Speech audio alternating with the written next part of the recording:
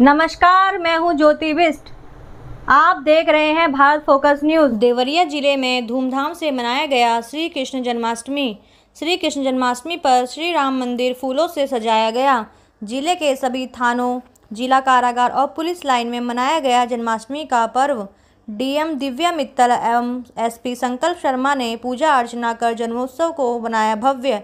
SP संकल्प शर्मा एवं DM Shrimati Divya Mittal ने श्री कृष्ण जन्मोत्सव पूजा अर्चना के साथ कराया संपन्न। जन्माष्टमी पर्व पर पूरे ज़िले में सुरक्षा व्यवस्था चकाचौंध। मंदिर में आसपास तैनात है, भारी संख्या में पुलिस के जवान।